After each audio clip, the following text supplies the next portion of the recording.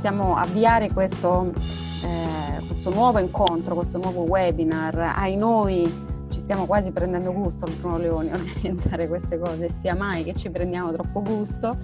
Eh, a, a, vederci soltanto, a, vederci soltanto, online, ma mh, eh, stasera sono particolarmente eh, contenta di, di, questo incontro eh, per, per, vari motivi. È perché presentiamo un libro della Liberi Libri, casa editrice alla quale sono affezionatissima e, e, e da cui provengo, quindi il mio cuore è lì. E poi perché ho la possibilità di rivedere un vecchio amico che è Pasquale Annecchino, ma anche eh, finalmente di potermi confrontare direttamente con due persone di cui ho letto eh, molte cose ma non avevo mai avuto il piacere ancora di incontrare e cioè il professor Riccardo eh, Manzotti e eh, l'autore del libro eh, Aldo Mariavalli. Eh, vi do il, il, benvenuto e do soprattutto il benvenuto anche a, a questa nuova pubblicazione Virus Leviatano per eh, la Liberi Libri di Aldo Mariavalli che è appena uscita appunto per, ehm, per le edizioni di Aldo Canovari, eh, su cui tutti un po' qua a, a Bruno Leoni ci siamo, ci siamo abbeverati.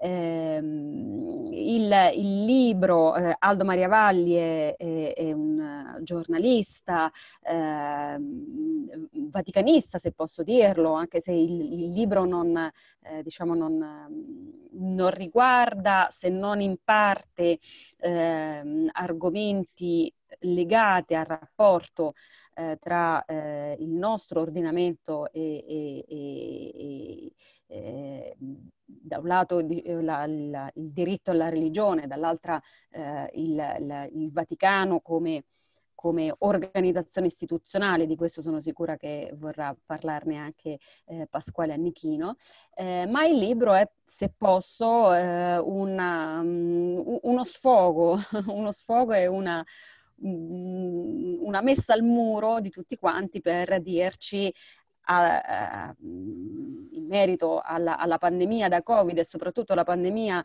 alla gestione della pandemia, insomma, dove vogliamo arrivare, dove volete che l'autorità pubblica, l'autorità politica arrivi eh, nel dare la priorità, nel decidere la vita che dovete vivere, nel dare la priorità alle vostre scelte, eh, alle vostre scelte individuali.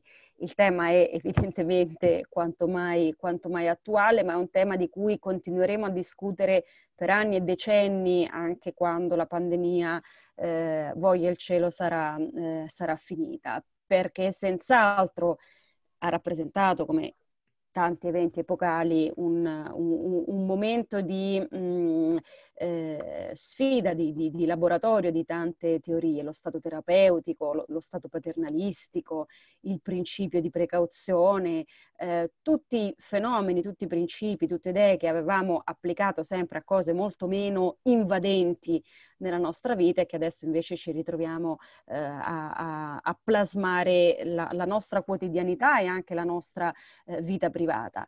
Eh, io ho parlato fin troppo, se siete d'accordo farei introdurre il libro al suo stesso autore, visto che è una freschissima pubblicazione che quindi merita mh, di essere eh, conosciuta perché immagino che la maggior parte delle persone che ci sta seguendo ancora non ha il libro eh, tra le mani e poi farei un giro, un doppio giro eh, di discussione con il professor Manzotti e, e con il professor Annichino. Grazie, grazie Serena. Ehm, devo dire che mh, con questo piccolo libro, con questo pamphlet, ehm, sono tornato un po' alle mie origini. Giustamente lei diceva che per tanti anni mi sono occupato di chiesa, di religione come vaticanista. Ora sono in pensione, ma continuo a farlo perché certi lavori non finiscono mai lo faccio soprattutto attraverso il mio blog.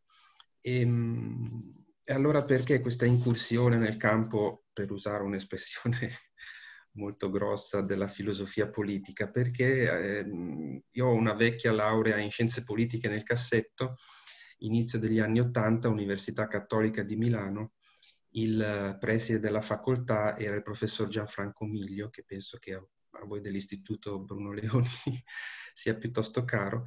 E, mh, preside di facoltà, di lui ho un ricordo vivissimo, è uno di quei maestri, una di quelle persone che hanno inciso molto sulla mia formazione intellettuale.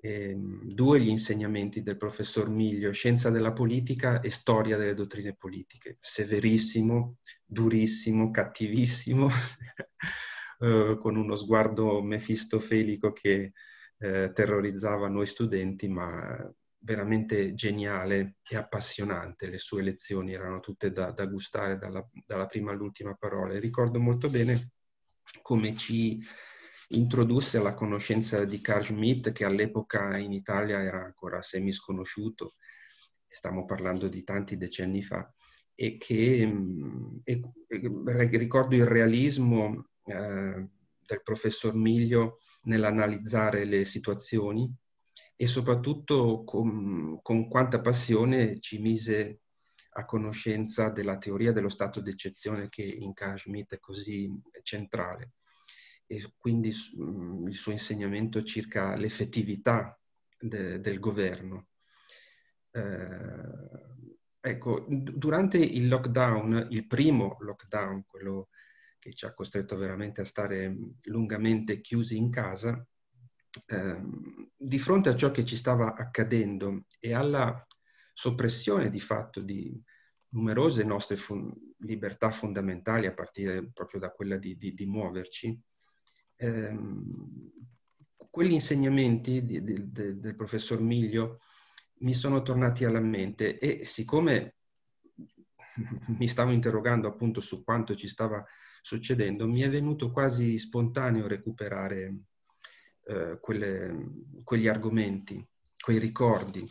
Ed è nato così questo pamphlet che poi Aldo Canovari, Michele Silenzi e tutti gli altri amici di, di Liberi Libri hanno accolto immediatamente con, con la consueta disponibilità e la, la grande amicizia che, che, li contraddistingue. Anzi, questa è anche un'occasione per mandare veramente un abbraccio di cuore a tutti loro, a partire da, dall'amico Aldo. E ehm, come posso presentare questo mio pamphlet? Innanzitutto devo dire che sono un po' imbarazzato questa sera perché mi trovo in ambito accademico, a confronto con professori, io sono un giornalista e quindi la mia opera non ha nulla di, di sistematico né tantomeno di, di, scientifico, è appunto un pamphlet che nasce soprattutto da alcune intuizioni, da alcune emozioni che, che, ho vissuto in prima persona e che ho sentito bisogno di esternare. Ehm, io, ecco, parto, no, non mi metto a ragionare sulla, sull'aspetto medico perché evidentemente non è di mia competenza a riguardo di questa pandemia. Parto dalla, dalla constatazione che eh, di fatto, a fronte di, di, di, questa situazione, abbiamo smesso di essere una, repubblica parlamentare qui in Italia. Cioè, lo strumento dei decreti della Presidenza del Consiglio, questi famosi o famigerati di, di PCM, hanno assunto una centralità e una preminenza assolute.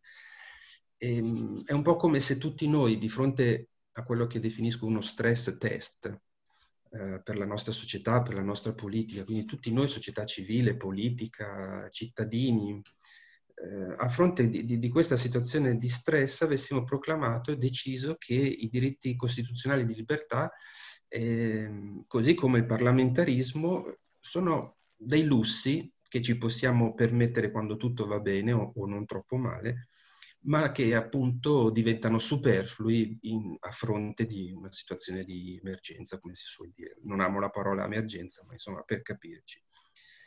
E, ehm, quindi ho notato la disinvoltura del governo nel sospendere questi diritti, ma anche la naturalezza con cui appunto la società, l'opinione pubblica nel suo complesso, ha accettato tutto ciò.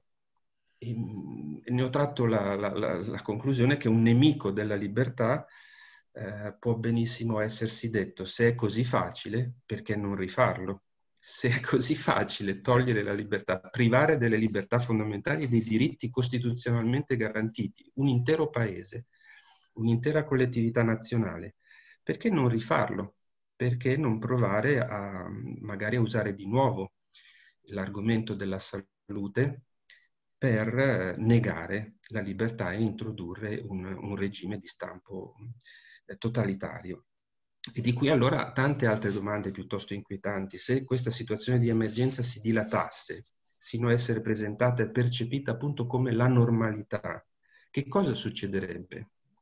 Chi può assicurarci che in futuro un pericolo non potrebbe essere creato di proposito per determinare talune conseguenze? C'è il rischio che lo stato di emergenza in, in qualche maniera sia istituzionalizzato? Ecco, domande appunto inquietanti che nascono da chi ha la passione della libertà. Evidentemente occorre rendersi conto del fatto che la libertà è molto difficile da conquistare, ma è molto facile perderla. E dunque se in mancanza di questa passione, direi di questo gusto della libertà, ovviamente certe domande non vengono si dà tutto un po' per scontato.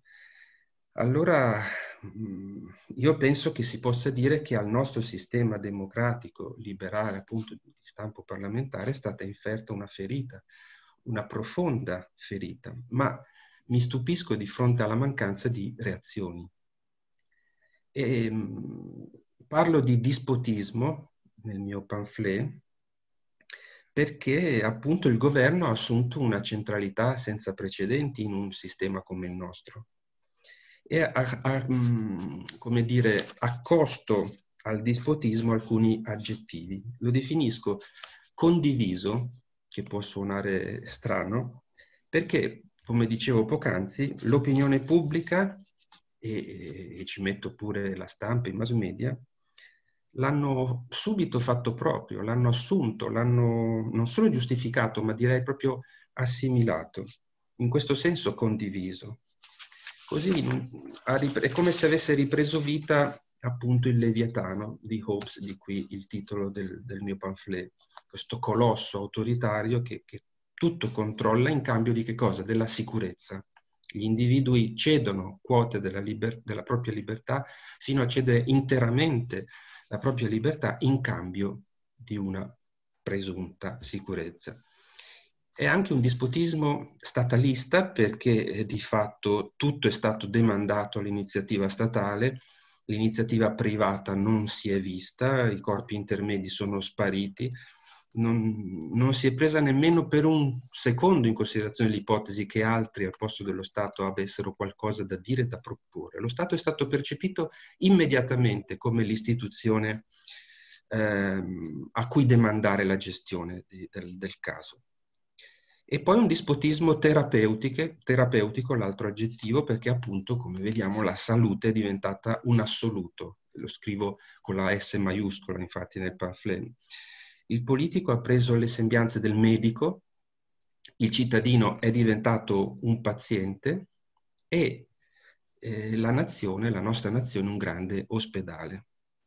Di qui chiaramente un rapporto asimmetrico che a sua volta favorisce il dispotismo, non c'è più il rapporto tra politico e cittadino, tra rappresentante e rappresentato, che è appunto il rapporto tipico di un sistema democratico liberale di stampo parlamentare come il nostro, ma c'è questo rapporto del tutto sbilanciato di medico-paziente e che mette chiaramente il, il, paziente in una condizione di inferiorità perché di fronte alla, al medico non si discute ma si ingoia la medicina che lui ti prescrive.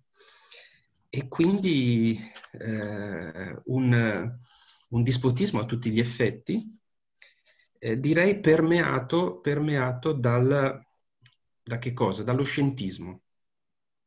Al grido di l'ha detto la scienza non si discute. E infatti come sono stati giustificati i provvedimenti? L'ha detto un comitato tecnico scientifico.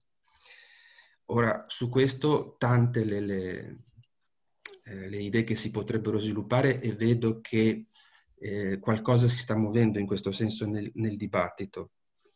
Eh, di fatto però, eh, come dire, noto una profonda ingenuità da questo punto di vista, perché solo chi non conosce la scienza può, può sostenere che l'ha detto la scienza sia la, la, panacea, perché non è così. La scienza in realtà non ha mai risposte certe. La scienza studia, mette a confronto, analizza i dati, ma rarissimamente fornisce soluzioni certe. Non parliamo poi della medicina. E quindi pensare di poter ottenere dalla scienza, e lo stiamo vedendo appunto, risposte certe, inequivocabili, è un'illusione. Questo dispotismo dunque statalista, condiviso e terapeutico mostra però, a mio avviso, e concludo questa mia introduzione scusandomi se l'ho fatta un po' lunga, tante debolezze. Non è, non è un segno una, di, di forza, ma è un segno di debolezza. Debolezza della politica intanto, che appunto si è messa nelle mani della tecnoscienza, non avendo risposte, riconoscendosi incapace di risposte e di affrontare i problemi, eh, si mette nelle mani di un comitato tecnico-scientifico. Debolezza dello stesso esecutivo, che si è fatto cogliere di fatto impreparato ed è diventato autoritario nel, nel momento in cui ha tentato di recuperare il terreno perduto. Ma un esecutivo non deve farsi cogliere impreparato. È lì proprio eh, per mettere in atto le, le, le soluzioni eh, a tutela dei cittadini, ma, ma, ma nella, possibilmente prima che avvengano le, i drammi, non dopo. Debolezza dello Stato che ha risposto con la sua tipica farraginosità e si è lasciato in gran parte comandare da organismi sovranazionali, abbiamo visto il ruolo preponderante dell'OMS.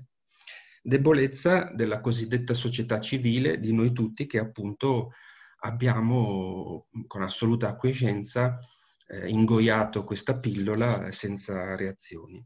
E infine, ecco qui faccio un'incursione nel, nel mio tipico terreno di indagine che è quello della Chiesa, ahimè devo dire da cattolico, debolezza della Chiesa, che si è prontamente allineata al dispotismo così come alla narrativa dominante e non ha, non ha saputo dire una parola diversa dal mondo a proposito di tutto questo che ci sta succedendo. Se c'era un'entità che avrebbe avuto la possibilità di aiutarci ad alzare lo sguardo, di aprire la nostra anima e la nostra mente a qualcosa di più grande di, di, di questa sola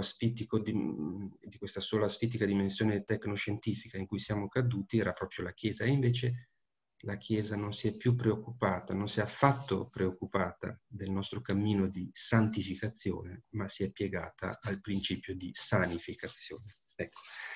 Uh, appunto per non farla troppo lunga mi, mi fermo qui e solo per dire infine che credo proprio che la passione per la libertà sia stata la grande molla che mi ha spinto a, a scrivere e a proporre a Liberi Libri questo testo. Una passione che purtroppo non vedo, ahimè, molto diffusa.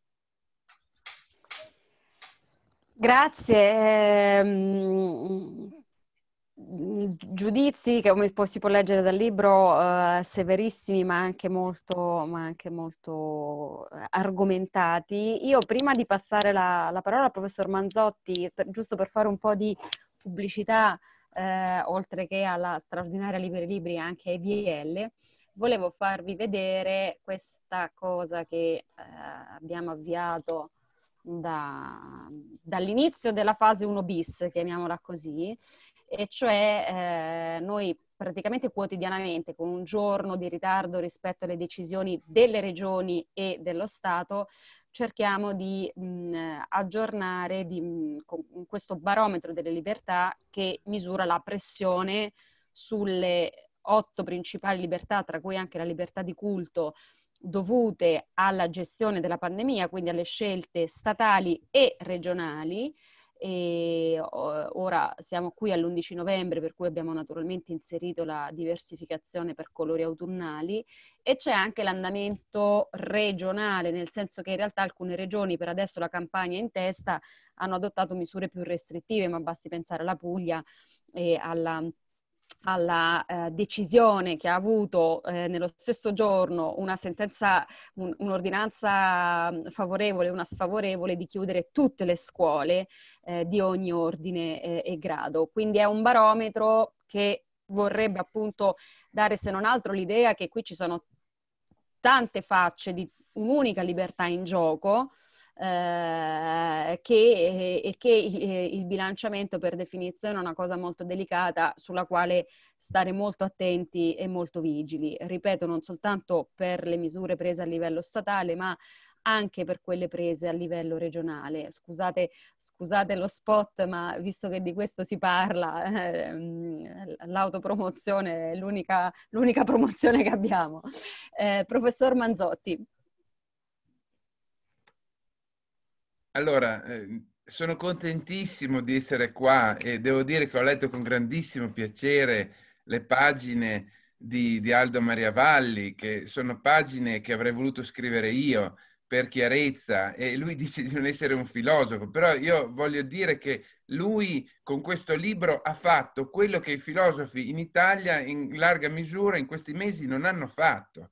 Cioè lui ha parlato in nome dei valori, in nome della persona umana, in nome della possibilità di una scelta, che, e su questo poi tornerò. Però voglio sottolineare che lui è stato più filosofo, eh, per quanto può valere questa, questa parola, eh, di quanto moltissime altre persone che hanno di mestiere questo titolo, eh, di, di, quanto non siano state tantissime altre persone che invece occupano questo ruolo. Cioè lui ha dato vita alle parole in un momento in cui la discussione sui valori del vivere civile veniva messa in discussione, anzi per tanti versi non veniva fatta. Come abbiamo accennato all'inizio, in questi mesi è stato messo in discussione il valore della, io dico, della discussione civile, perché per me la discussione civile è sempre un, una discussione politica nel senso più alto di questo termine, cioè una discussione sui valori dell'agire e della, eh, dell'esistenza quotidiana. Questa discussione non c'è stata. Non c'è stata perché di fronte alla paura, di fronte al rischio, si è immediatamente accettato quello che lui stesso chiama una narrazione monotematica e che io in altre sedi ho chiamato un pensiero lineare, un pensiero monodimensionale, cioè di fronte al rischio si sono presentati dei numeri e questi numeri si sono stati presentati come se avessero in sé il proprio significato, cosa che è un'assoluta bugia. Faccio un esempio concreto. A me mi si può dire che se io, io, io, vivo in Liguria, ma lavoro dal 2004 a Milano, benissimo, questo comporta dei costi, dei rischi. Io in Liguria posso avere degli affetti, delle amicizie, dei, dei, dei genitori, in, a Milano posso avere delle altre amicizie, il mio lavoro e quindi io posso correre un rischio. Io ho dei costi per vivere in Liguria, ma i costi vanno commisurati ai valori. Che valore ha per me stare vicino ai miei genitori o ai miei figli o essere più vicino alla sede di lavoro? Questi sono valori. I valori sono frutto di scelte. Non sono né oggettivi né soggettivi. Pensare di ridurre tutto al pensiero monodimensionale, alla narrazione monotematica di cui parla benissimo, di, di, cui, vede, di cui, mostra la genesi benissimo nel suo libro eh, Aldo Maria Valli, vuol dire togliere alle persone la loro dimensione più autentica. La persona è nella misura in cui decide, nella misura in cui sceglie, nella misura in cui è libera. Una persona senza libertà non esiste. Io mi ricordo che circolava una di quelle frasi terribili del mondo accademico che non si dovrebbero dire, ma che circolava e credo che qualcuno l'avrà sentita, che bisogna imparare a strisciare per essere sicuri di non cadere. Ecco, questa per me è la negazione della libertà. Chi striscia non cade mai non si fa mai male. Ma le, quella è l'esistenza del verme, l'esistenza che Luigi Einaudi descriveva, definiva come la vita lurida. E diceva, ci sono già stati nel passato dei regimi, quindi Luigi Einaudi in tempi non sospetti, ben, ben, ben, molti anni prima di questa vicenda, quei regimi che ci hanno proposto la salvezza in terra, sappiamo come sono andati a finire. Sono stati la negazione della libertà. E la libertà è tutto per la persona. Allora la domanda, quello che dicevamo eh, in una brevissima discussione che abbiamo avuto prima di questo incontro, prima che ci collegassimo sul webinar, la cosa grave è che in questi mesi la, il valore della persona umana, che è soprattutto il valore della possibilità di esercitare la proprietà della sua esistenza, cioè scegliere i valori per cui vale la pena vivere e morire, è stata messa in discussione senza che ci fosse una discussione. Cioè non si è discusso se effettivamente fosse il caso di abbandonare di mettere, di pregiudicare, di passare dalla democrazia alla democratura. Che, eh, anche qua mi riferisco alle pagine di, di, di Aldo Maria Valli. Si è messo in discussione il Parlamento così, non c'è più bisogno, è una cosa che va bene quando siamo in vacanza, siamo tutti tranquilli, non succede niente, un lusso. Si è messo in discussione il fatto che la libertà non è qualcosa che viene concessa dal governo quando tutto va bene, quando siamo in vacanza, ok? Lascio giocare i bambini. Non è questa cosa la libertà. La libertà è quella cosa, viceversa, che le persone hanno e che concedono al governo di poter esercitare in sua vece. Quindi è il contrario. Si è messa in gioco la responsabilità dei cittadini, si sono trattati i cittadini come delle persone incapaci di intendere di volere come lo Stato, Leviatano, si è proposto come un genitore che tiene i bambini eternamente sotto tutela e che li lascia liberi di prendere delle decisioni soltanto quando queste decisioni di fatto non contano. Cioè cosa ci ha detto il governo in questo periodo? Ci ha detto voi potete decidere sulle cose che non contano. Una barzelletta che raccontava sempre un mio zio eh, un fratello di mia nonna, di quelle barzellette che, che non fanno ridere, ma quindi niente di grave, che diceva questo, ma io in casa mia decido su tutto, cioè decido su tutto quello che non conta, decido sul tempo, decido sul, sul, sul calendario, decido cose, tutte le cose che contano non posso decidere. Ecco, questo è stato l'atteggiamento della politica nei confronti dei cittadini. Come è stato possibile che i cittadini abiurassero così facilmente ai loro diritti civili. Io ho un sospetto, due sospetti in realtà.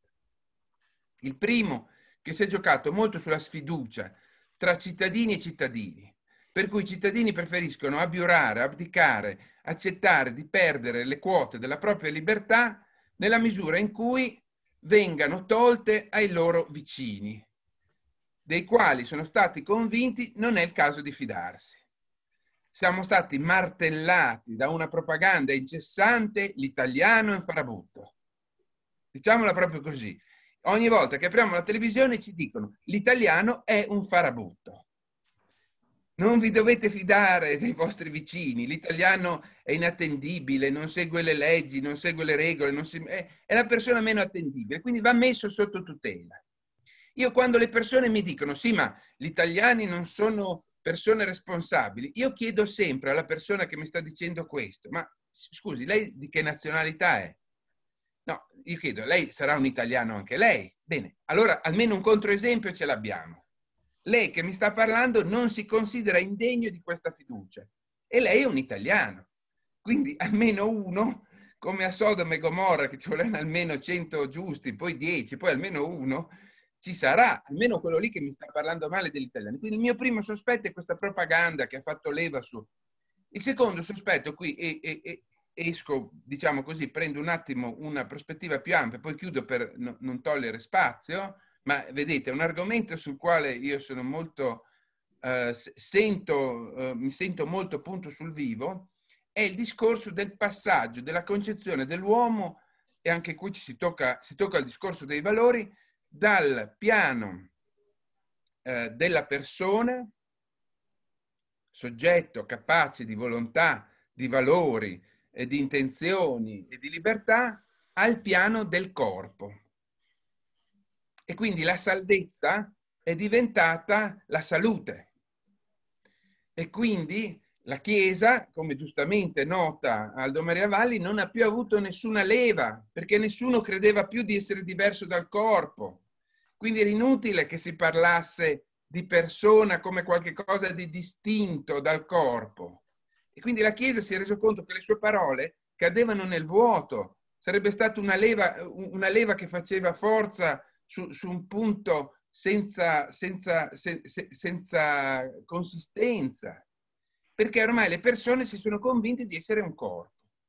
E allora, e chiudo, Oggi c'è stato, ieri anzi, c'è stata una cosa gravissima che la cito non tanto per l'episodio in sé, quanto perché l'episodio è il sintomo di questa deriva biototalitaria e di questa stanchezza, di questa debolezza del tessuto civile che dovrebbe fare preoccupare moltissimo.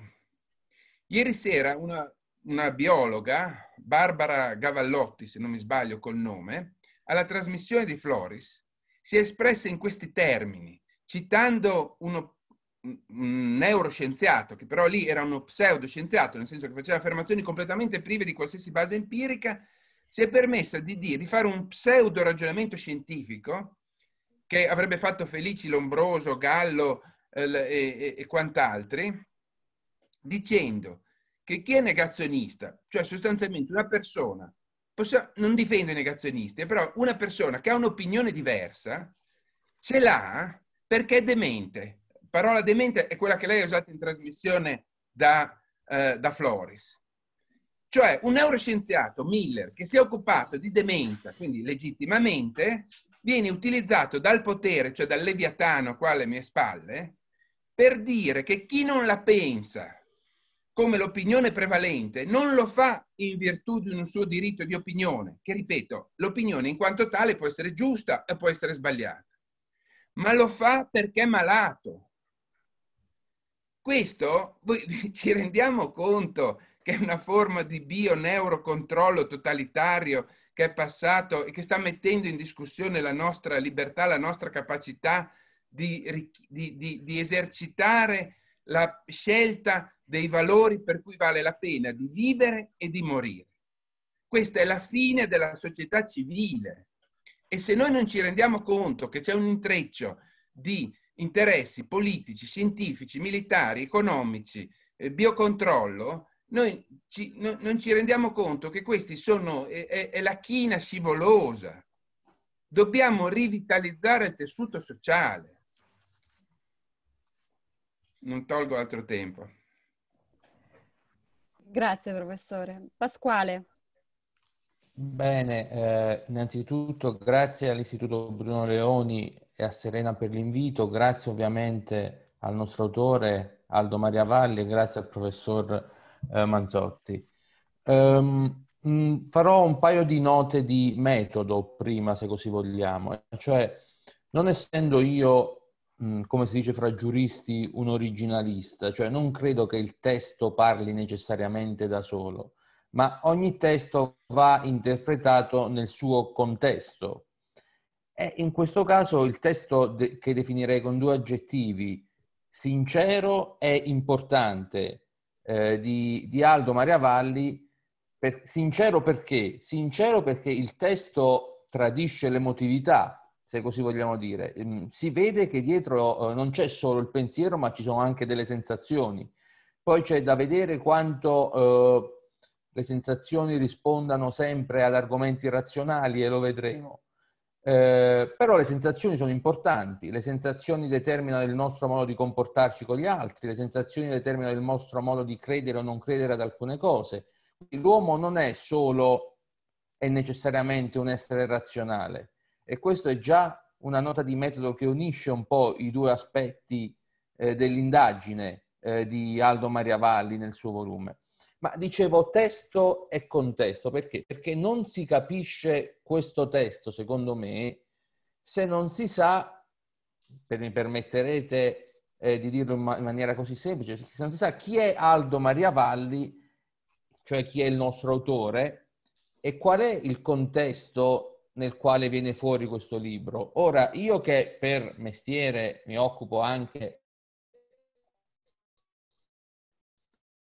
appunto dei rapporti fra diritto e religione, se vogliamo, mi occupo anche molto e soprattutto di Stati Uniti e quindi eh, so e scrivo anche su quotidiani, so benissimo chi è Aldo Maria Valli, l'ultimo capitolo, se vogliamo, quanto meno di una trilogia, entrambi da liberi libri, che sono Come la Chiesa finì e 266 Giuseppe Maria Bergoglio Francisco Spicchi. Allora, io penso che il lettore che vuole comprendere meglio il testo dovrebbe leggerli tutti insieme. Questo testo virus e gli sono i suoi campi di indagine, diciamo così. Quindi questo era per quel che riguarda il contesto, però a mio avviso è importante. È importante anche per un altro motivo che io definirei professionale, se vogliamo, perché Aldo Maria Valli, con la sua storia di vaticanista, ora io non entro nel merito, lui l'ha raccontata, ha reso pubblico tutte le cose che sono successe, eccetera, però eh, Aldo Maria Valli lancia anche una sfida, se vogliamo, di metodo alla professione giornalistica, perché Aldo Maria Valli, che oggi non fa più il vaticanista al TG1 per le ragioni che diciamo noi, tra virgolette, esperti del mestiere sappiamo, eh, probabilmente altre persone non lo sanno, con Duc in Altum, che lui ha citato prima, che è il suo blog appunto, eh, io credo, non lo so, ma credo che il suo blog farà dei numeri abbastanza importanti per, per quelli riguarda appunto i temi di cui lui tratta. Soprattutto è un eh, protagonista importante del dibattito in, infracattolico sostanzialmente, per via eh, delle, ehm, dell'ospitalità che lui offre al suo blog con anche altri giornalisti alle posizioni di Monsignor Viganò, eh, che appunto sono delle posizioni molto critiche rispetto a un, a un certo atteggiamento della Chiesa, eh, definiamo nei confronti della modernità, se vogliamo utilizzare una categoria generale, e che sono ampiamente riflesse nelle critiche che Valli fa in eh, Virus e Leviatano all'atteggiamento della Chiesa Cattolica nei confronti della pandemia. Rientrano perfettamente in quelle critiche che vengono mosse da Aldo Maria Valli e da chi la pensa come il nostro autore nei confronti della Chiesa Cattolica, in generale sull'app- sull'approccio che la Chiesa Cattolica ha oggi, ma io mi sentirei di dire, menzionando solo l'unica cosa tecnica, cioè soprattutto dopo il Concilio Vaticano II, rispetto alla, alla grandissima questione della modernità, che interessa ovviamente i filosofi, che interessa i giuristi, ma io penso che interessi tutti. Interessa anche gli ingegneri, gli informatici che oggi si occupano di intelligenza artificiale. La grande questione del rapporto fra religione e modernità o postmodernità, direbbero alcuni, ci interessa a tutti, qualsiasi sia la nostra, la nostra professione. Ora, eh, qual è, secondo me, quali sono un paio di questioni che io solleverei? Innanzitutto, io sono molto più pessimista di Aldo Variavalli e del professor Manziotti. Cioè, credo che loro siano troppo ottimisti. Cioè, loro, secondo me, innanzitutto, nel, nelle, sia nel libro e sia nei commenti del professor Manziotti, innanzitutto loro ovviamente si parla mh, di stato di biototalitarismo. Ora, eh, restiamo confinati all'Italia. Io ho avuto modo di affrontare reazioni alla pandemia e le reazioni di gruppi religiosi alla pandemia anche in altri paesi rispetto ad altri gruppi religiosi e ci torneremo se avremo il tempo. Ora, per quanto riguarda l'Italia, immaginare Luigi Di Maio, Roberto Speranza, Giuseppe Conte, addirittura artefici di un sistema neobiototalitario vuol dire prenderli sul serio. Io onestamente ho molta difficoltà a prendere sul serio le reazioni di questo governo rispetto alla pandemia, che tutto mi sono sembrate, tra... cioè, come si diceva in maniera, come dire, abbastanza triste, ma la battuta è sempre passata, quando c'era lui i treni arrivavano in orario, Qui quando, c'era, quando c'è Arcuri i banchi arrivano quando le scuole hanno chiuso. E quindi è questo lo stato neobiototalitario davanti a cui noi siamo di fronte? Eh, io metodologicamente avrei dei problemi a inquadrare la reazione dello Stato italiano come Stato neobiototalitario, ma semplicemente perché non sono in grado. Magari vorrebbero, ma non ci riescono. Però io avrei dei problemi ad inquadrarla con quelle categorie lì, cioè che sono delle categorie della filosofia politica io, come dico sempre, utilizzerei più le categorie del situazionismo filosofico per inquadrare le reazioni di questo governo rispetto alla pandemia. Ora, c'è da giuristi un problema effettivo. Eh, Serena Sileoni ovviamente potrà spiegarlo meglio di me, ovvero il famoso, mh, dec- eh, famoso decreto legge, eh, il, il numero 6 del 23 febbraio 2020, che appunto fu il primo eh, dei decreti legge su cui vennero poi generati successivamente tutti i DPCM, eccetera, eccetera. Questa è stata una questione ampiamente dibattuta dai costituzionalisti, ci sono stati interventi anche molto duri di amministrativisti e costituzionalisti di primo piano, penso al professor Cassesi ad esempio, che ha fortemente criticato il governo per l'uso dello strumento del DPCM. Ora, c'è anche un refuso interessante nel libro, cioè Aldo Maria Valli scrive che c'è stato, eh, pagina 21 del libro, abu- l'uso e abuso della decretazione d'urgenza. Ma io direi magari ci fosse stato l'uso e l'abuso della decretazione d'urgenza perché queste cose sarebbero passate per il Parlamento. Il problema è che non ci sono neanche passate per il Parlamento con i DPCM, tant'è vero che poi con il famoso emendamento Ceccanti li hanno quantomeno costretti a discuterli. Lo scenario è è, abbastanza complesso e dal punto di vista giuridico i problemi che ci sono, eh, io penso di, di vederli abbastanza bene. Dal punto di vista delle norme sociali rispetto alle norme giuridiche, devo dire che alcune reazioni eh, hanno impressionato anche me abbastanza. Eh, classica, il classico esempio che mi viene in mente è quello dei runner, la famosa polemica dei runner.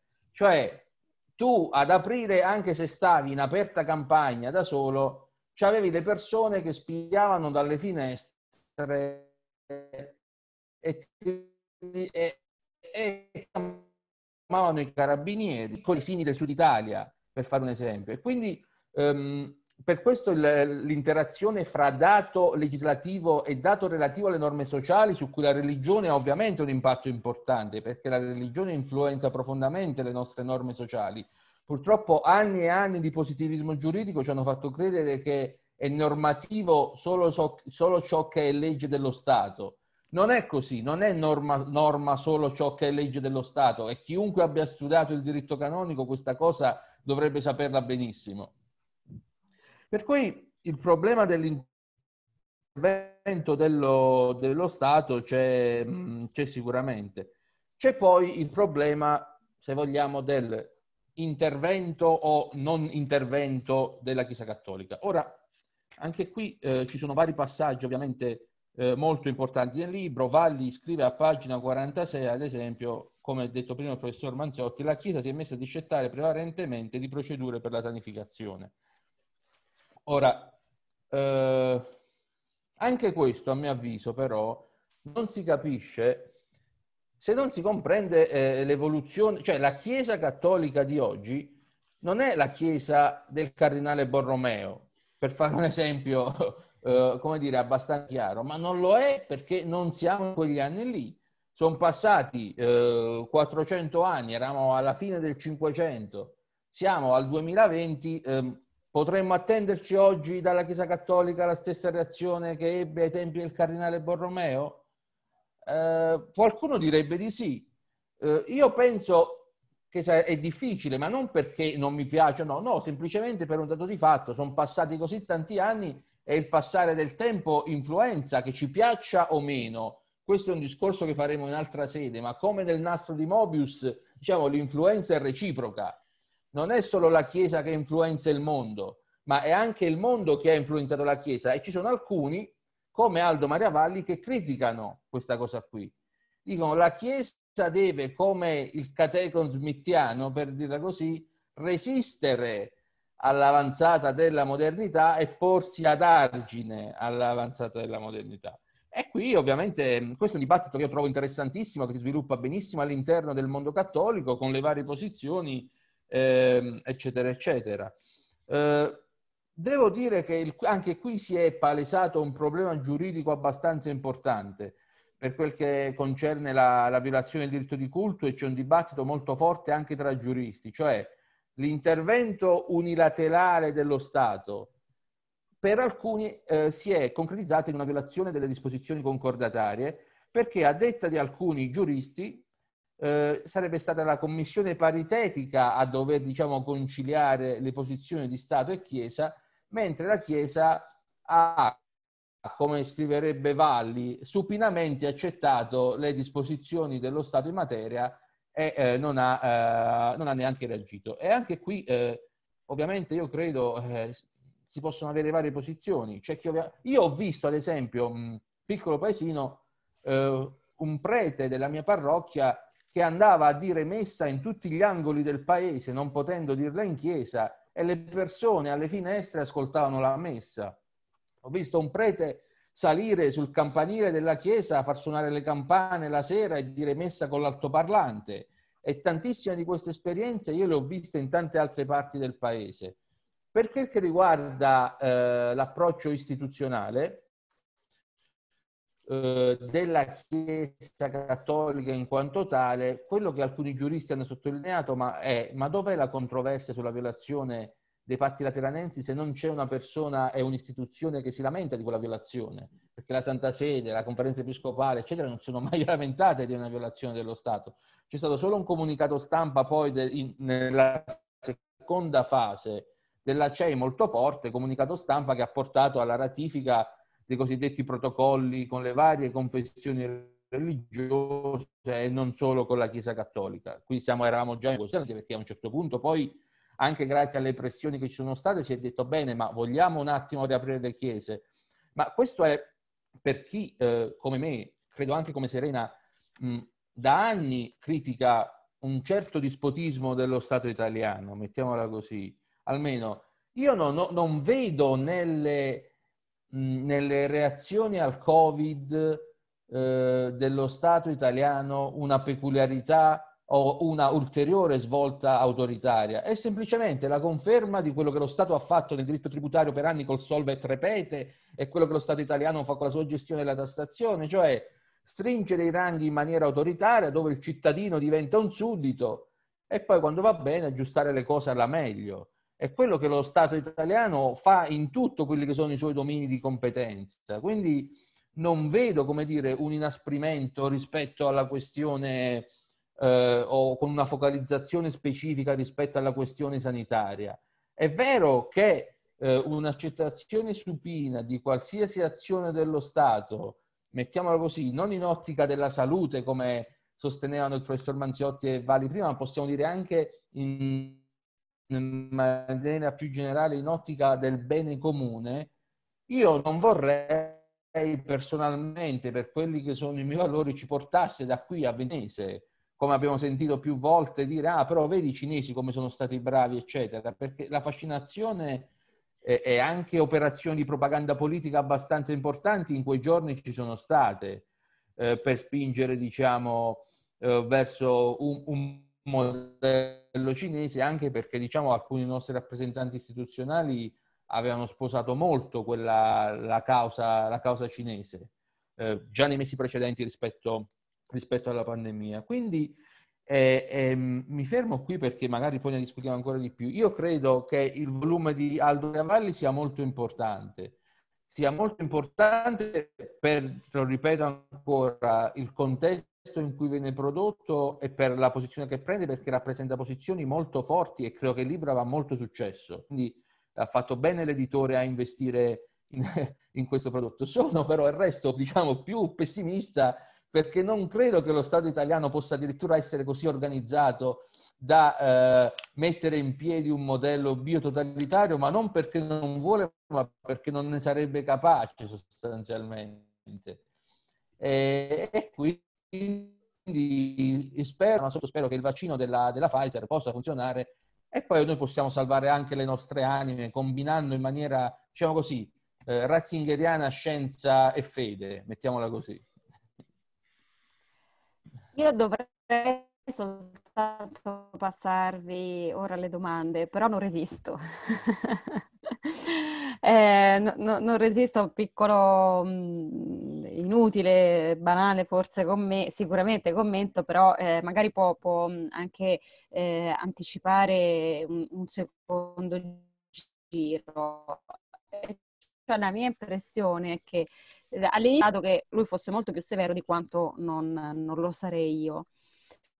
Poi in realtà eh, riflettendoci anche adesso che, che, che parlava eh, Pasquale, ho pensato che forse eh, io sono ancora più severa eh, di lui, ma anche del professor Manzotti, perché a me pare che mh, eh, o, eh, o parliamo di eh, gradazione appunto di, di, di, di, obblighi da un lato e, e, e, e libertà valoriali dall'altro, quindi non del se ma del quanto e del come, eh, oppure in realtà eh, se si, uh, si, va verso una condanna senza appello, ma non tanto della gestione, in questo forse sono ancora più, più, più radicale, non tanto della gestione di questo momento mh, e del, no, del, nostro sistema italiano,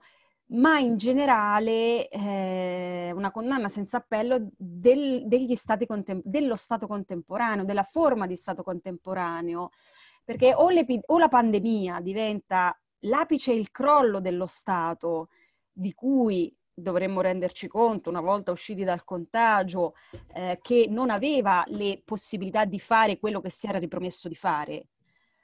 Oppure accettiamo che eh, il, il, il, il, presupposto politico dello Stato, che lo Stato si è dato, che è quello di garantire eh, condizioni di, di, di, esistenza, quello che Dante avrebbe chiamato l'ordine pubblico, la pace sociale anzi, eh, e allora diventa più un problema di se eh, e come. Forse arriveremo a questo, cioè forse arriveremo appunto a, a, a una, alla, alla, prova, questa, la prova di, de, del fallimento proprio dell'idea eh, di, di, di Stato sociale, di Stato contemporaneo, di Stato liberale democratico chiamatelo come, eh, come, come vedete. Altro, un, un uso in pieno a quello che faceva il professor Manzotti, eh, lui ha, ha, ha richiamato eh, termini per me molto difficili, ma eh, che mh, per me fondamentalmente è il discorso intimidatorio, no? Per cui se provi a um, criticare anche soltanto questa gradazione, eh, allora sei fuori, eh, dalle, dalle, sei fuori dalla razionalità. Eh, quindi sei, sei, un pazzo fondamentalmente, no? Eh, questo però è un problema, eh, no, senza però, diciamo, questo non è un problema tanto di rapporto con l'autorità politica, ma è un problema del rapporto tra noi, tra, tra persone, informazione, cittadini, è, è un problema più eh, orizzontale che non verticale se volete, allora, se volete, se avete, diciamo, mm, se, se volete commentare soprattutto eh, il professor Annichino, eh, vi, vi, vi, do, mh, mm, insomma, eh, potete fare un primo giro e poi ci sono delle domande, non credo che riuscirò a girarvele tutte, eh, ma due o tre domande ve le volevo inoltrare. Sì, io voglio prima di tutto lasciare la parola all'autore e poi vorrei aggiungere un paio di cose, se possibile. Prego, allora Valli. Sì, grazie. Ehm, io parto da mm, un dettaglio che ho visto guardando il video di Serena. C'è un bimbo che ogni tanto spunta dietro. Non la che, in, che è in isolamento precauzionale perché gli ha chiuso la classe. Chiuso la classe, ecco. Ma questo dettaglio mi, mi, fa molto piacere perché è l'irruzione della vita in questo nostro dibattito di, di, di idee eh, che sembrano un po' sganciate un po' da, da tutto. E, e il professor Anichino diceva prima che, che lui è più pessimista, ma io che sono più vecchio non posso permettermi di essere pessimista perché sono un papà e sono un nonno e quindi voglio mantenere ancora un po' di speranza proprio per questi figli e per questi nipoti. E, ehm, di qui anche la mia, mh, forse, come dire, quella che qualcuno ha, ha, chiamato mancanza di aggressività in questo mio scritto, in questo mio pamphlet. Non ho voluto essere aggressivo proprio perché voglio mantenere questa porta aperta verso un futuro che non, de- non può e non deve essere di, di tipo distopico. Ecco. Questo, durante la pandemia mi è venuta voglia di rileggere Huxley, eh, il suo mondo nuovo, l'ho, l'ho riletto in effetti, eh, là dove lui dice che il condizionamento in questo mondo eh, da lui immaginato avveniva di notte, no? non so se vi ricordate, mentre i soggetti dormivano attraverso la somministrazione di un certo tipo di, di messaggi, l'ipno, pedia, la chiamava lui. Oggi il nostro condizionamento avviene tutte le sere all'ora de, dei telegiornali de, de, del massimo ascolto, questa iniezione costante di paura, di terrore attraverso anche un linguaggio bellico, per cui abbiamo il coprifuoco, abbiamo la battaglia, abbiamo i, i resistenti, abbiamo i combattenti e tutto ciò ovviamente ci, ci condiziona e, e, come diceva Manzotti, senza, se noi teniamo conto di, di, queste robuste iniezioni di paura e di terrore che ci sono state eh, date da, da, fin dall'inizio, ormai da, da lunghi mesi, no, non possiamo ben capire eh, le, le, le, direzioni che abbiamo preso. Siamo veramente paralizzati dalla, dalla, paura. E così tutto viene distorto. La paura, lo sanno bene i, i, gli autocrati di, di, tutti i tempi, è il mezzo migliore per condizionare eh, gli individui e le collettività. Mm, mi preoccupa molto ecco, che passino, siano date per scontate alcune idee ormai, che cioè sia lo, lo Stato che, che, viene prima della persona. Ormai questo è dato praticamente per scontato se ci guardiamo attorno. E noi che siamo nati nel personalismo, noi che invece prima mi sono quasi intenerito sentendo Manzotti citare Inaudi. E allora la, la, la, preminenza dell'individuo, la, la persona che viene ben prima dello Stato, lo Stato che nasce come organizzazione eh, dalla persona, la dignità della persona, qui tutta la lezione anche eh, come cattolico posso ricordare di Giovanni Paolo II, il, Papa della, della, mia vita. E, ehm, e, poi un'altra idea che ormai passa come, come acquisita è che è consentito eh, viene detto, c'è questo verbo che nei DPCM viene continuamente usato, no? è consentito, non è consentito. Questo è molto preoccupante secondo me. Cioè ormai non è più consentito tutto tranne ciò che è espressamente vietato, come dovrebbe essere in un sistema liberale, ma è vietato tutto tranne ciò che è espressamente consentito. E qui noi ci stiamo mettendo in una gabbia da soli con le nostre stesse mani. E Tanti, tanti sono gli spunti veramente che sono stati offerti dai nostri due interlocutori. Fra l'altro io Manzotti lo, lo cito anche a un certo punto nel mio librino lo ringrazio tanto per lo spunto che, che mi ha dato eh, quando lui parla appunto delle cifre, no? di questa, questo mito delle cifre. Noi siamo bombardati di cifre che non sono mai contestualizzate, ma che ci sono rovesciate addosso ad uso proprio dell'alimentazione della, della paura, de, del terrore. E mm, lui cita la campagna del governo Io sto a casa, sarà ricordata come un esempio da scuola di come in pochissimo tempo ignoranza e paura possono cancellare il patto di mutua ragione tra cittadino e istituzioni. Ecco, così condizionati da questo terrore, il patto eh, viene meno, appunto siamo nella biopolitica, e siamo nella, nel, nello stato, trasform- nella nazione trasformata in un grande ospedale, per cui tu malato, tu paziente, non hai più nulla da obiettare, devi solo subire e ingoiare la pillola. Mm, non sto a, a, sviluppare tutti gli spunti perché sono veramente tantissimi e ringrazio i miei due interlocutori. Vorrei solo mettere in luce quella che ritengo una, una curiosità, eh, ma poi non tanto una curiosità, ma una conseguenza. Ehm, nel momento stesso in cui la Chiesa, a mio giudizio, ha disertato in questa vicenda, perché la sua predicazione è stata tutta terrena, eh, tutta eh, fondata sulla salute, se, perdendo di, di vista il, il, cammino di santificazione, perdendo di vista l'aldilà, perdendo di vista i grandi temi che una volta quando io ero piccolo al catechismo erano chiamati novissimi, morte, giudizio, inferno e paradiso. Cioè, se non ci parla la Chiesa di queste cose, soprattutto in momenti difficili, ma chi ce ne deve parlare? La Chiesa non ci parla più. La Chiesa si, si preoccupa de, della mucchina, si preoccupa del, dei guanti monouso, si, pro, si preoccupa della mascherina. Allora, è curioso, abbia, nel momento in cui abbiamo questa Chiesa tutta ormai terrena, tutta appiattita sulla, narrativa dominante, abbiamo però categorie prettamente di stampo religioso che vengono reintrodotte, che allontanate dalla porta rientrano dalla finestra.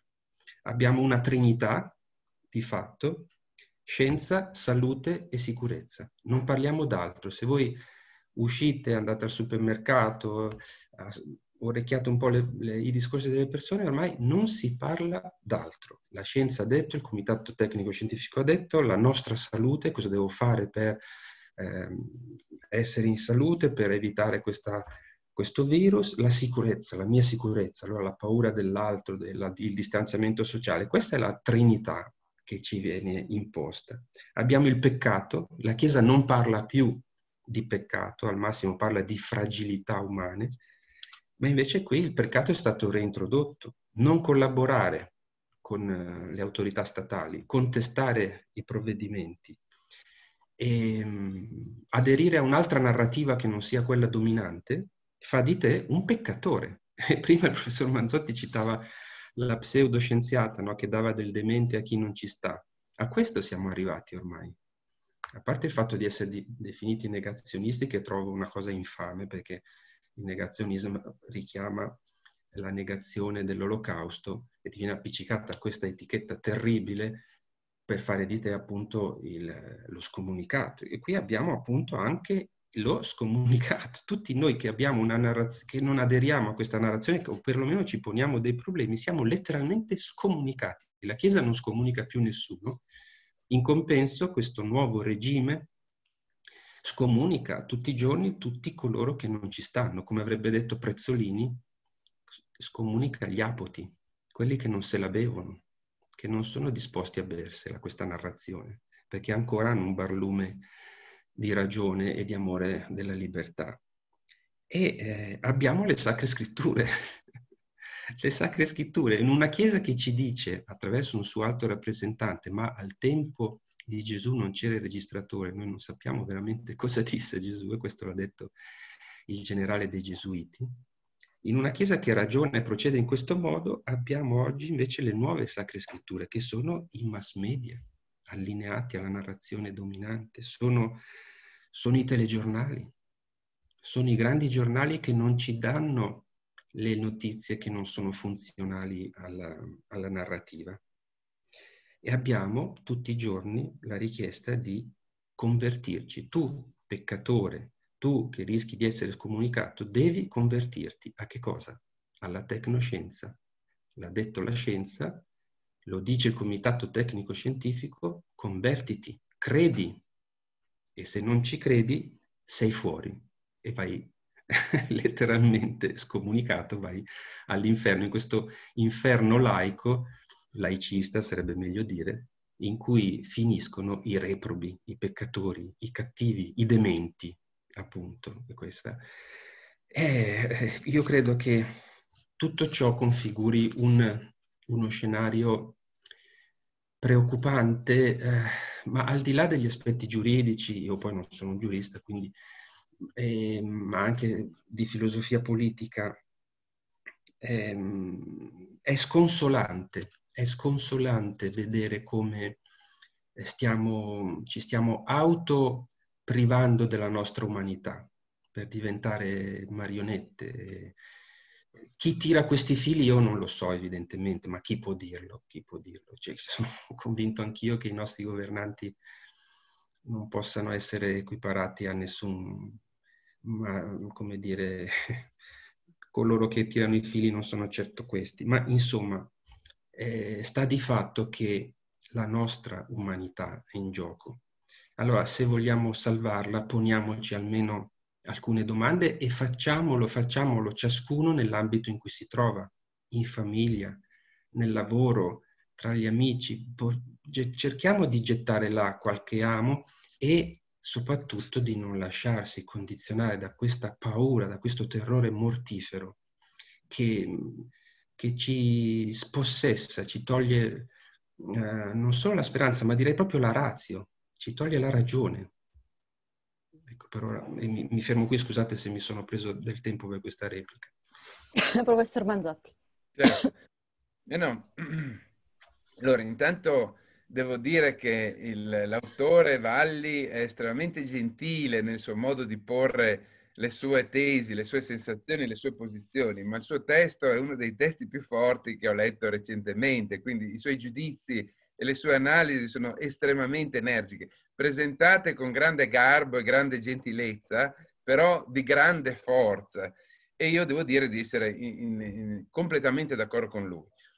Eh, volevo sottolineare che nel libro non è che si parla particolarmente, forse ho dato un'impressione sbagliata, non è che si parla tantissimo o, o, non moltissimo di biocontrollo, questo è più una conclusione che ho tratto io. Però a essere preciso, per rispondere a, a Nichino, io non ho detto che i nostri governanti Di Maio e compagnia, Conte e compagnia, sono, eh, diciamo così, i mastermind di un eh, piano di biocontrollo ho detto che nella società civile italiana, e non solo italiana, ma anche mondiale, il fatto di non concepirsi più come soggetti dotati di libertà e di eh, capacità di scelta dei valori per cui vale la pena vivere e morire, crea un terreno fertile su cui poi i veri attori di biocontrollo, i veri attori eh, capaci di sfruttare questo cambiamento di valori, questo cambiamento del clima politico e civile mondiale, quindi di cui l'Italia però è un buon rappresentante, un buon letto di prova, su cui poi troveranno le condizioni ideali. Cioè, è come dire, se alla fine dell'Ottocento c'è un diffuso antisemitismo in Europa, alla fine dell'Ottocento non è che ci sono già pronti i campi di concentramento, però se tutti gli europei accettano di pensare come normale una posizione di tipo antisemita, prima o poi arriveranno le condizioni per cui qualcuno, non Di Maio, ma qualcun altro a livello mondiale, sfrutterà questo clima culturale, politico e sociale per far leva su quest'idea. Allora, se noi ci concepiamo come marionette, quindi su, questo, su Di Maio mi permetto di fare una battuta, cioè il rasoio di um, Hanlon. Il rasoio di Hanlon non è il rasoio di Occam, il rasoio di Hanlon dice non, non attribuiamo mai alla malizia quello che può essere spiegato dalla stupidità o dall'incompetenza. Quindi eh, limitiamoci a quello. Però io non mi riferivo tanto ad una, diciamo così, posizione attiva in questo senso del biocontrollo da parte dei governanti di oggi dell'Italia, quanto piuttosto al fatto che nel momento in cui le persone, gli italiani, gli europei, gli americani, si concepiscono come corpi privi della capacità di scegliere i valori per cui vivere, lo diventano. Se io non credo più al libero arbitrio, non sono più libero. Se io non credo più di essere un, un, un soggetto capace di scegliere i valori per cui vivere, io divento un automa. William James, a proposito del, del libero arbitrio, diceva, come primo atto di libero arbitrio io credo, decido di credere nel libero arbitrio e perciò stesso lo fondo. Nei commenti ho visto che qualcuno ha detto che io sono un po' astratto, ma per forza sono astratto, sono un filosofo. Il compito dei filosofi è cercare di guardare le cose dal punto di vista più astratto e generale possibile. Quindi non la prendo come una critica, la prendo come, diciamo un riconoscimento del fatto che sto facendo il mio mestiere. Sarebbe come accusare un matematico di essere astratto dire, è il suo mestiere cogliere i principi generali nel caso particolare. E eh, aggiungo una cosa anche per quanto riguarda la Chiesa. Eh, dice Valli una cosa molto giusta che un pochettino eh, mi sembra che Anichino non fosse d'accordo, ma secondo me è molto giusta. Cioè se la Chiesa diventa sociologia della religione, non è più Chiesa. Poi possiamo discutere, giustamente Anichino dice, non sono più i tempi di Carlo Borromeo, ha ragione, forse non sono più i tempi della Chiesa, forse la Chiesa è finita, ma se la Chiesa si riduce a sanificazione delle mani, a igiene, a state, a state attenti, no, non prendete freddo, forse non è più... Cioè la Chiesa ci deve dare una prospettiva sui valori trascendenti del vivere umano. Se non ci dà questa prospettiva, io non capisco che bisogno abbiamo di avere la, la, la dimensione religiosa. Se la dimensione religiosa non è proiettata sui i, valori in una dimensione trascendente. E, e, per finire, l'ultima cosa che volevo toccare che secondo me questa deve essere molto chiara e, e va ribadita. La demo, e, sono sintetico, eh, Serena, vedo che, che ti preoccupi che eh, sono sintetico. La democrazia, il sistema liberale, non è un mezzo, è un fine. Non deve essere visto come il sistema di governo che noi scegliamo perché ci permette di stare più al caldo, di essere più ricchi o di raggiungere de, de, determinati obiettivi di carattere economico-materiale. Per me, da filosofo, il sistema, lo Stato liberale, la democrazia è un valore, non è un mezzo. Poi, come tanti valori, mi consente poi di arrivare anche ad altri risultati, ma soprattutto è la possibilità di vivere in un sistema politico in cui io sono considerato un soggetto capace della capacità di esercitare la mia esistenza, cosa che è la libertà. Se noi riduciamo la nostra esistenza a numeri, ma noi non siamo più persone. Se voi mi dite c'è lo 0,2% di proba- 0,6% di, di probabilità di prendere il virus chi decide se lo 0,6% è tale da mettere in discussione il valore, per esempio, di vedere i miei genitori anziani. Quello è un valore. Lo 0,6% è un numero, sono cose diverse. L'aggancio tra numeri, che sono l'oggetto della scienza e della tecnologia, e i valori, che sono ciò per cui si vive, non è mai automatico è sempre oggetto di una scelta libera ed è sul valore di questa scelta libera che si appoggia la società liberale, lo Stato liberale, la democrazia occidentale. E non è mai, e non la troviamo nei libri di fisica, biologia e, e, e nei, nei, manuali della sanità, nei testi di biologia e delle neuroscienze.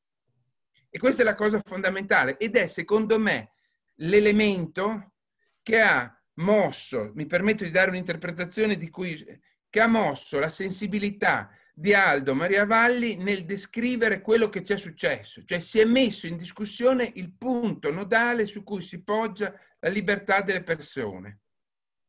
E per questo motivo per me il libro di Aldo Maria Valli è un libro fondamentale, unico in questo momento in Italia.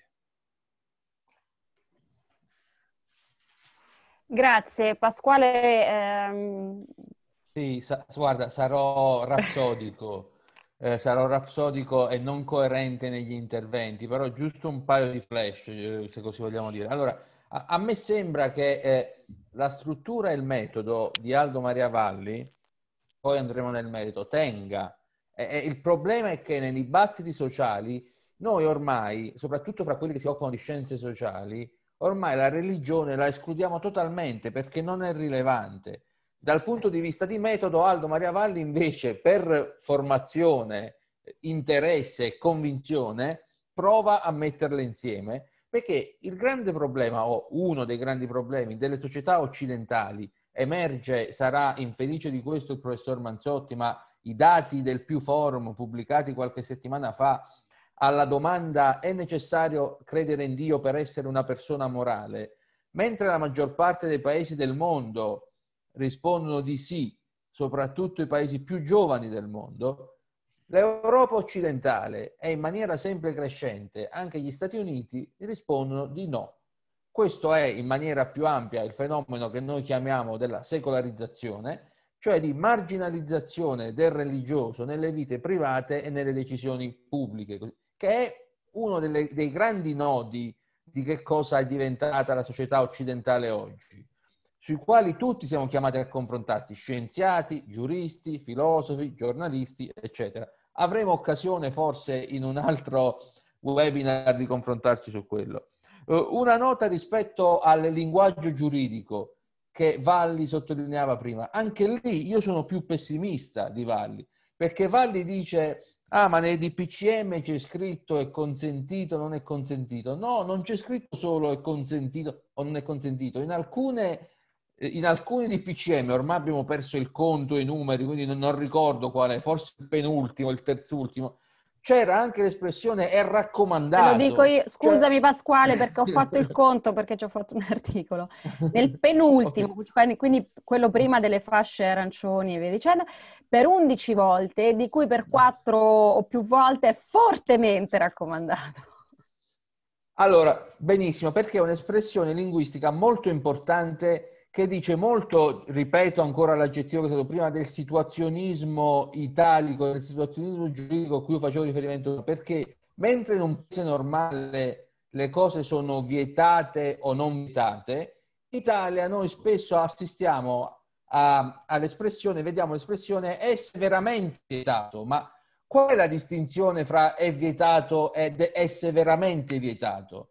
Solo diciamo, la, l'applicazione delle norme in un contesto sociale quale quello italiano può generare una differenza fra è vietato ed è severamente vietato, così come è fortemente raccomandato. Questi aggettivi nelle tecniche di drafting legislativo dicono molto del contesto sociale in cui la norma giuridica si va eh, o si dovrebbe calare, se così vogliamo.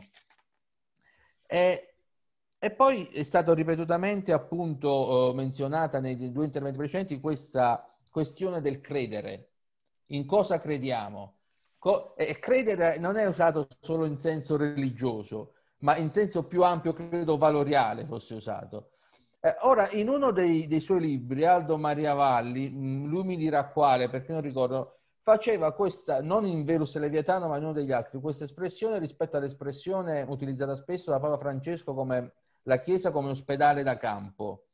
Eh, e lui criticava questa espressione perché diceva ma come la Chiesa per secoli ha costruito gli ospedali veri, eccetera, ora siamo ridotti alla Chiesa ospedale da campo. Ma io vorrei, come dire, da cattolico, ma anche da studioso, vorrei tornare, e per ribadire la conclusione che ho fatto prima, ad una Chiesa che costruisce gli ospedali importanti, una Chiesa che lavora anche sulla scienza e oltre a lavorare sulla scienza lavora anche alla salvezza delle anime. Io credo che possiamo tenere insieme queste due dimensioni senza diventare necessariamente ipercritici del dato scientifico che comunque c'è, perché i morti noi negli ospedali li vediamo, i problemi delle famiglie che sono infettate dal Covid noi li vediamo. Certo non basta occuparsi solo di quello, non deve esserci la monotonia solo di quello, perché ci sono tanti altri problemi. Un problema importante che tutti noi saremmo chiamati ad affrontare, ovviamente, oltre il bilanciamento tra tutela della salute e diritti civili e anche il bilanciamento fra eh, iniziativa impresa economica e tutela del reddito e del sostentamento delle famiglie con tutela della salute. E tutte queste sono operazioni di bilanciamento che a livello politico e legislativo noi saremo chiamati ad affrontare. Grazie. Grazie Pasquale. Io volevo mh, eh, sintetizzare un po' le, le, le, domande i contributi che sono venuti dalle persone che ci stanno ascoltando. Mi pare di intendere che mh, ci sono due tipi di interventi. Eh, mh, alcuni interventi si soffermano su quello che voi avete già sottolineato, e cioè eh, il, eh, il, il, gli dei eh, terreni degli, degli, scienziati e la dea scienza eh, che si sono fatti strada anche per un arretramento del sentimento religioso e eh, della Chiesa. Su questo appunto ci sono stati alcuni commenti che credo vadano in linea con quanto eh, avete detto quindi la salvezza del corpo che ha soppiantato un po' la salvezza, il, la, la, la, premura per la salvezza delle anime e che trova radice anche nella, nella, nella crisi della, della, Chiesa, quantomeno come, ehm, come, come maestra eh, di, di, vita.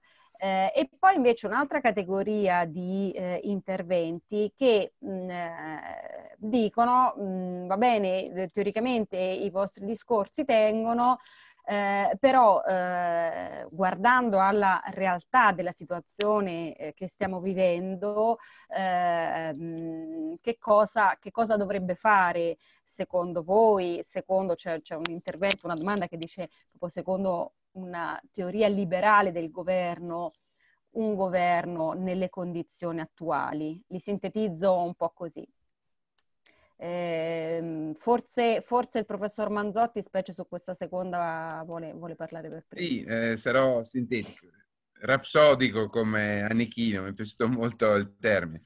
Allora, uno, eh, non vorrei aver dato un'impressione sbagliata. Io non è che difendo per forza il, il, il, il, mm, ritorno alla religione come elemento dominante del, del... È un ragionamento logico che io faccio. È un ragionamento assolutamente logico. Cioè la religione, se esiste, deve fare il suo mestiere, altrimenti diventa sociologia della religione e possiamo anche escluderla. Può anche non esistere, attenzione, non è che io difendo la sua esistenza. Quindi la mia posizione non aveva alcuna eh, predisposizione in questo senso. Al volo, invece, eh, sul discorso del che cosa dovrebbe fare uno Stato in questo caso, beh, eh, in ogni momento c'è la possibilità di prendere una decisione e le decisioni sono sempre politiche. C'è freddo, allora io brucio la casa per tenere il nonno al caldo. Forse non è una scelta corretta. Quello che voglio dire è che in ogni momento è possibile fare una scelta di valore. L'esistenza umana è fatta sulla base di ciò che noi pensiamo abbia valore. Voi pensate, e questo non ha niente a che fare con la religione, questa è la differenza tra valori e, diciamo così, informazioni. Le informazioni mi servono, che sono il dominio della scienza, la conoscenza scientifica oggettiva, mi consente nel modo migliore di raggiungere i miei valori. Ma non mi dirà mai quali sono i miei valori. Se io mi innamoro di una persona, voi mi potete cercare di convincere fino allo sfinimento. Riccardo, guarda, eh, non va bene che tu ti innamori di quella persona, ti costerà un sacco di soldi, ti creerà dei problemi, ma io sono innamorato. L'amore è un valore. Se io penso che la libertà è un valore, io sarò pronto anche a morire, a perdere i miei soldi, a perdere la mia salute, ma difenderò quel valore perché? Perché l'essere umano è fatto di valori, non è fatto di corpi, non è fatto del suo portafoglio. Poi, certo, se l'essere umano liberamente decide che il suo valore è il suo portafoglio, o la sua salute, o il numero di giorni che vuole stare al mondo, va benissimo. Ma quanti esseri umani hanno deciso, a prescindere dalla... Attenzione, non è un discorso religioso, a prescindere dalla religione, che per loro le cose che valevano erano altre. Ma Cristoforo Colombo, quando è andato negli Stati Uniti, ha chiesto quanti posti letto c'erano sulle tre caravelle.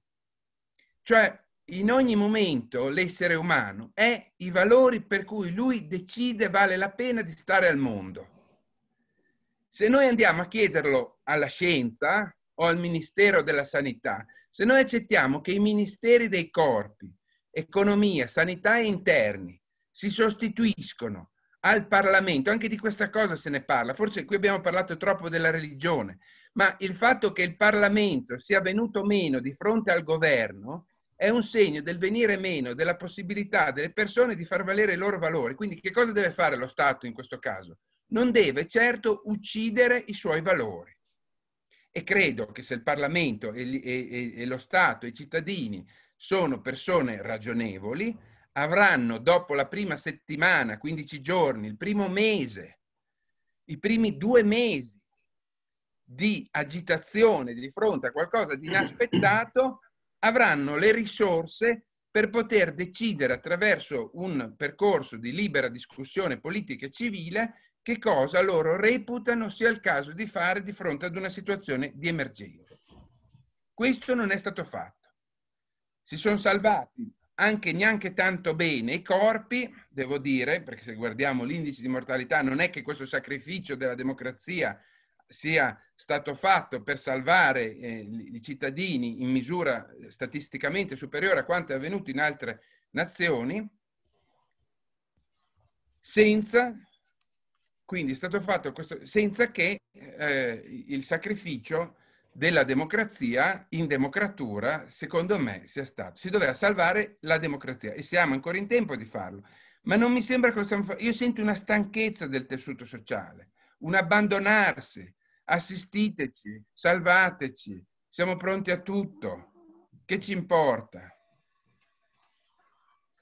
Grazie professor Manzotti. Ehm, sulla, eh, completo diciamo, l'altro gruppo di domande eh, sul, sul, declino della, della Chiesa, dell'importanza della Chiesa, perché alcuni fanno anche riferimento al fatto, collegandolo anche a quello che diceva adesso Manzotti, che in fondo questa, questa eh, democratura, questa eh, abdicazione della, de, della, delle istituzioni al loro ruolo, a partire dalle opposizioni, un po' ce lo meritiamo, nel senso eh, non eh, esclusi presenti, eh, in realtà ehm, la maggior parte e, e so, sono le persone che vogliono protezione anziché libertà, sicurezza eh, e cura del corpo anziché cura delle anime. Le chiederei un intervento finale su questo. Chi parte? Ah, ah, no, no, è per Valli. Ah, Valli, per me, okay. e, e, e, quanto abbiamo? Perché vedo che l'ora si è fatta un po' tarda, quindi chiedo anche quanto abbiamo a disposizione. Diciamo che eh, andiamo verso l'orario di cena degli anziani e dei bambini, quindi... Va bene. um, ci sono veramente tantissimi spunti. Mi fa molto piacere che il professor Manzotti parla di valori, questa parola così svalutata e assente, devo dire, nel, nel dibattito attuale, che è appunto tutto numerico. E, ehm, io penso, la domanda che fare è sempre la più insidiosa, ovviamente. E, mm, ma io dico, il governo deve governare. E il verbo governare me, mm, mi fa venire in mente la famiglia. Io sono un papà, appunto, dicevo, un nonno, e un, che cosa fanno un papà e una mamma che governano la loro famiglia? Prima di tutto, ecco la riflessione di Manzotti, partono da alcuni valori, cioè che cosa mi sta veramente a cuore eh, per me, per la mia sposa, per i miei figli, per i miei nipoti, che cosa conta veramente? E da lì derivano eh, le decisioni in campo educativo, in campo economico, le scelte familiari di, di tutti i giorni, ma partono da, dai principi che sono, eh, che sono no, l'essenza stessa della nostra vita. Uh, senza questa riflessione preliminare non possono esserci, non c'è governo che tenga. Allora ogni governo deve avere ben presenti i principi fondamentali. Noi abbiamo questa bellissima Costituzione che definiamo sempre bellissima, poi la, la calpestiamo in continuazione. E l'articolo 1, Repubblica democratica fondata su che cosa? Sulla salute, fondata sul terrore, fondata sulla paura, eh, fondata su un governo eh, paternalistico che ci deve tutelare, fondata sul lavoro. I nostri padri costituenti si sono confrontati a lungo su, questa, su questo articolo e, e, hanno deciso poi di puntare sulla parola lavoro perché è ciò che dà la dignità alla persona, è ciò che le assicura la dignità, che le dà un ruolo attivo nella società, che le permette di essere titolare di diritti. Dal punto di vista ovviamente laico, qui non, non entro nella, nell'aspetto religioso. Il lavoro, invece noi vediamo che in, quest, in questa situazione il lavoro come è stato ed è calpestato, la gente perde il lavoro, le famiglie si impoveriscono, il lavoro è stato assurdamente colpito da provvedimenti che hanno sparato nel mucchio senza andare a, a verificare la reale situazione. Uh, il lockdown è una sorta di fuga, io la chiamerei così, è una fuga nella, nella caverna. L'uomo primitivo di fronte alla fiera, non avendo risorse, cosa fa? Scappa e si rifugia nella caverna. Il lockdown è qualcosa di simile, non c'è un, un principio ispiratore, non c'è un valore, c'è solo la fuga, il rifugio immediato in preda al terrore. Ma questo un governo, soprattutto se è un governo liberale, democratico, non, non se lo può e non se lo deve permettere. Ne va di mezzo la dignità delle persone, ne va di mezzo la dignità della nazione stessa e stiamo pagando prezzi eh, altissimi a questa visione, direi appunto, primitiva. E, ehm, e, poi vorrei dire anche, spendere una parola per il Parlamento. Mi sembrerà strano che lo dica un cattolico, ma io non sono soltanto un figlio della Chiesa, sono anche un cittadino di questa nazione. E, e il Parlamento, dal punto di vista, da un punto di vista laico, è un luogo sacro, perché lì ci sono i nostri rappresentanti eh, che noi eleggiamo e noi, eh, i nostri padri, i nostri nonni si sono battuti per questo. Non sono cose scontate che esista un Parlamento, che esista una rappresentanza. In tante parti del mondo se lo sognano e noi non possiamo darlo per scontato o peggio ancora calpestare il nostro parlamentarismo come sta avvenendo ora. A maggior ragione dopo un referendum che ha deciso, eh, indebolendo ancora di più il principio di rappresentanza, di diminuire i, i, i parlamentari, il numero dei parlamentari. Eh, la sacralità di questo luogo ci impone di ricordare che lì noi siamo presenti tutti attraverso i nostri rappresentanti. Infatti i deputati sono i eh, rappresentanti della nazione, non dello Stato. Quando noi diciamo nazione, diciamo un popolo, un, un ethos, una comunità. Lì siamo noi per interposta persona e questi rappre- nostri rappresentanti, cioè noi stessi, sono stati completamente eh, saltati, quindi siamo stati saltati noi stessi, come se non esistessero, o peggio come se fossero un intralcio eh, sulla via dei provvedimenti da prendere di fronte a una situazione che ho definito di stress test, cioè di, di difficoltà del paese, della nazione. Allora in questo modo noi annulliamo noi stessi. E tutto ciò, ripeto, è molto grave perché costituisce anche un precedente. Di questo passo noi ci abituiamo all'idea che tutto ciò sia superfluo, mentre eh, generazioni di persone si sono battute, hanno giocato le loro vite, hanno perso le loro vite per ehm, arrivare a questi eh, strumenti che ci siamo dati appunto di rappresentanza e di articolazione sociale e politica. Il fatto che tutto ciò avvenga e che sia dato per scontato mi, fa, mi, mi rende molto triste, molto molto triste. Allora ecco, ripeto, ciascuno nel proprio ambito dica una parola, eh, eh, ricordi che la libertà non è mai scontata, è difficile conquistarla, è facilissimo perderla. Ricordi che il Parlamento non è scontato, che la rappresentanza non è scontata. E di fatto la stiamo perdendo, il principio di rappresentanza è già notevolmente indebolito.